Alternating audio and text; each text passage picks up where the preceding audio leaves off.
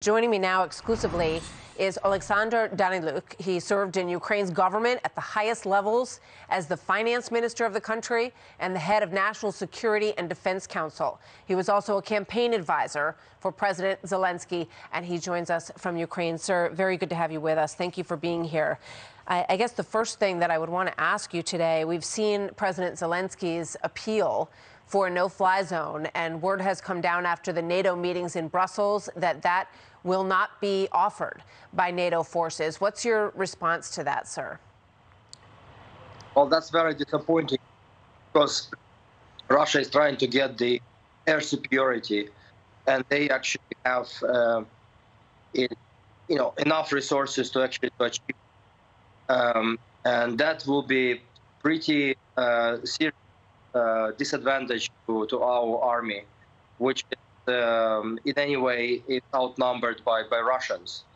So no-fly zone is absolutely necessary for us. Um, given that uh, NATO is not going to provide it, you know, I, I, I understand the logic. Uh, logic is quite simple. Basically, by uh, instating the no-fly zone, NATO believes that it's uh, it's already taken side of Ukraine and pretty much joined the war with Russia. But I had a totally different view. We can look from a different angle. You know, you, by closing the, the, the, the sky the, uh, for the flights uh, for Russians, uh, you, NATO don't attack. It just says that don't bomb Ukraine. And then if Russia bombs Ukraine, that actually it attacks NATO. Russia attacks NATO. Russia attacks Ukraine. So I think if you look from this angle, I think the no-fly zone is, is the right move that NATO. But there is always an alternative. The alternative would be to supply the modern aircraft, to provide pilots, to provide modern drones and operators of the drones, uh, attack helicopters. Those things we need to actually to achieve super, uh, air superiority, uh, to, to, to get this advantage over Russia, and then decide if this war will change.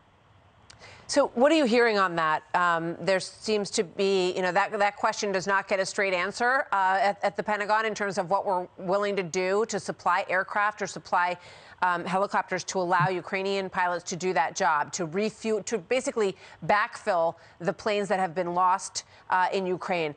You, is it your understanding that there's a channel for that to happen from the West?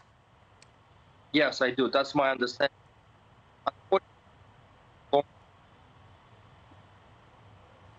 Mm. Which, uh, eventually will be,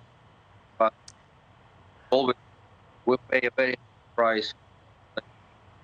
All right, um, sir. I'm, I'm, i regret to say that we're having a little bit of trouble. The signal is breaking up, and uh, understandably, um, you know, you're in a war zone, and it's difficult to communicate sometimes. But we we very much appreciate you checking in with us from time to time, and I hope we'll get a chance to talk to you again soon, sir. We wish you well. Stay safe, and um, we are all praying for your country. Thank you for being here. Hey, Sean Hannity here. Hey, click here to subscribe to Fox News YouTube page and catch our hottest interviews and most compelling analysis. You will not get it anywhere else.